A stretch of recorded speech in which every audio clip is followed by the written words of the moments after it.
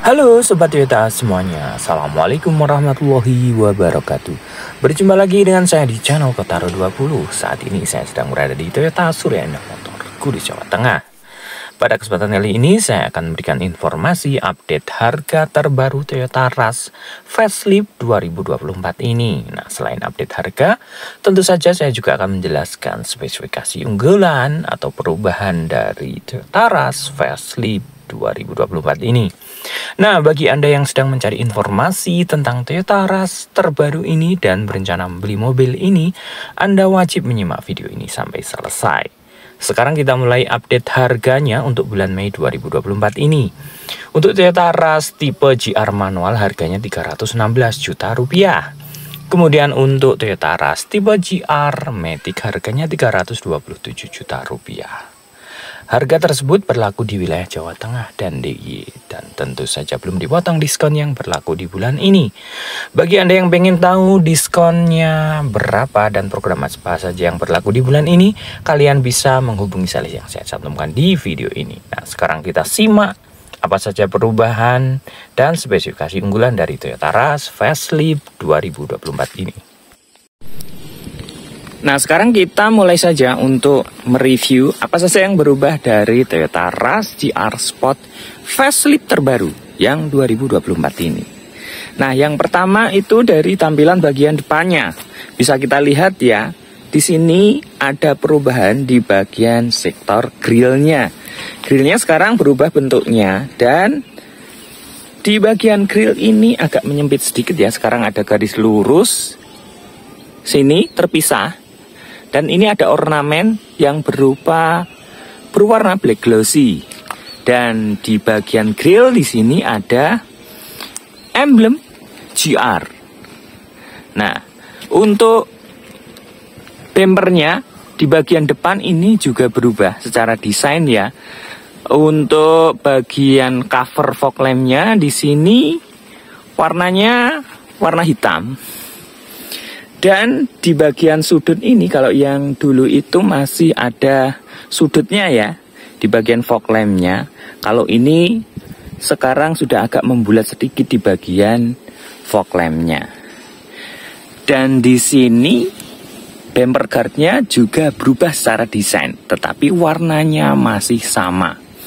Untuk jelasnya nanti kita langsung sandingkan perubahan detailnya seperti apa antara ras GR yang tipe sebelum facelift ini.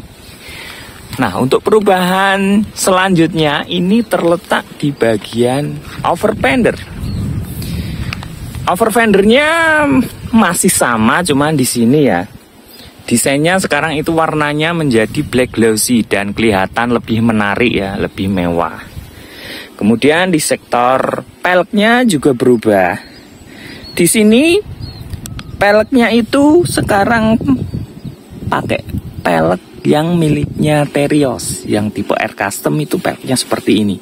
Persis secara ukuran ini masih sama ya desainnya dengan yang Toyota Rush GR model sebelumnya. Nah, di sini over fendernya sekarang warnanya black glossy.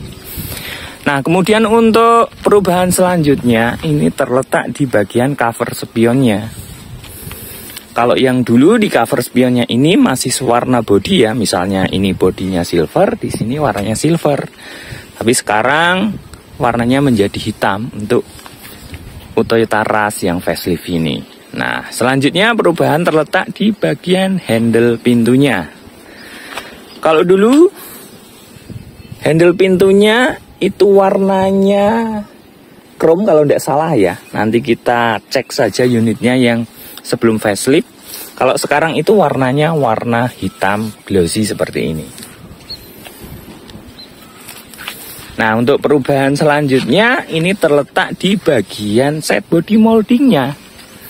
Kalau dulu yang Toyota Rush sebelum facelift ini set body molding terletak di atas ya di bagian tengah ini.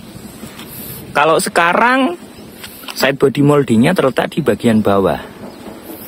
Dan untuk emblem GR-nya ini sudah dihilangkan ya untuk Toyota Rush yang facelift ini.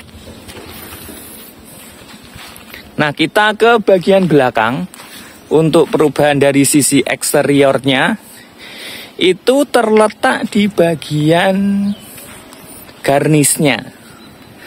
Nah, garnis pintu yang menghubungkan antara lampu utamanya ini, kalau dulu itu sewarna body, sekarang warnanya hitam. Jadi kalau Toyota Rush yang warna hitam itu tidak ada perubahannya karena memang sewarna body warnanya hitam.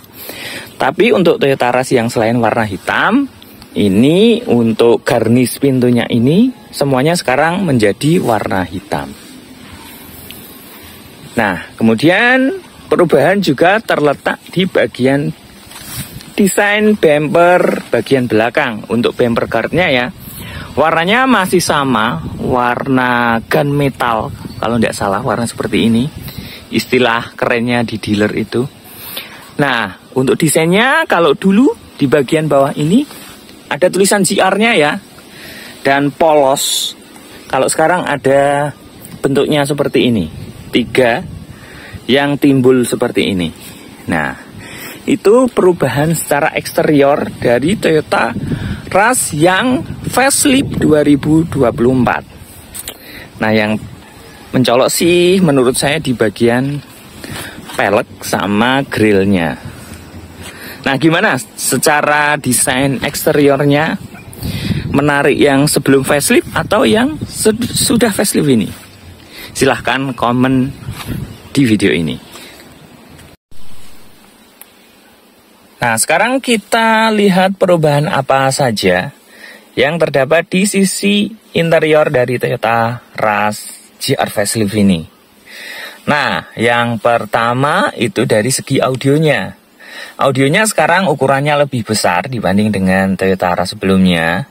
Kalau dulu 7 in, sekarang berubah menjadi 9 inch kalau nggak salah ini ukurannya 9 inch dan di sini desainnya sekarang floating ya kelihatan mengambang dan kelihatan bagus banget nih kualitas dari audio Toyota Aras yang facelift ini.